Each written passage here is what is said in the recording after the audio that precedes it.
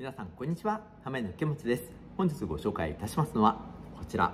アイバンの魅力的なオクタゴンレンズシェイプのフレームタッカーというアイテムを本日はご紹介いたします、えー、40年代に、えー、あった 12K フルビューのヴィンテージフレームから着想を得て作られているというアイテムなんですけれどもその当時のこのブリッジのデザインであったり、えー、鎧部分の新しい構造になるんですけれども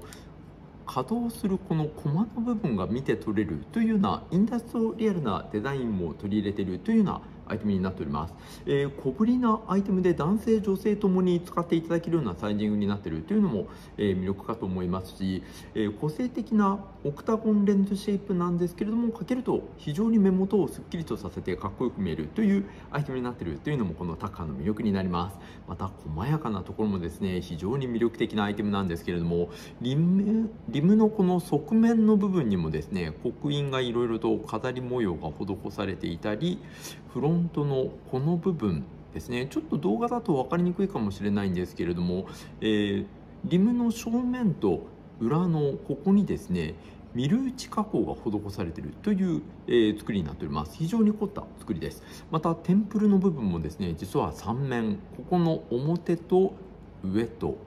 下の部分にですねミル打ち加工の模様が施されているという、えー、3面えー、プレスで模様を作っているという技術が、えー、採用されております。またこのバランサーにもなるテンプルエンドの部分もですね、えー、こちらの方にも鞘型模様という日本古来の伝統的な模様が刻印されているという非常にこだわったフレームに仕上がっております。なかなかかっこいいフレームですのでかけたところもご覧いただきたいと思います。こちらの方をかけますとこのようなサイズ感のアイテムになっております。テンプルもベータチタン採用しているテンプルなんですけれども非常にしなやかですっと入って軽やかな掛け心地になっているというのもこちらのタッカーの魅力です、えー、個性的なレンズシェイプなんですけれどもかけるとすっきりとしていてかっこいい印象が作り出せるという魅力的なフレームに仕上がっているのもこちらのフレームの魅力になってまいります。なかなかいいですね。軽やかな作りというところもありますしこういったクラシックテイスト非常に魅力的です。そしてこちらは色違いのシルバー系カラーですね。えー、カラー名は S というカラー名になるんですけれども非常に涼しげな印象を作り出すカラーになっております。こちらの方をかけますと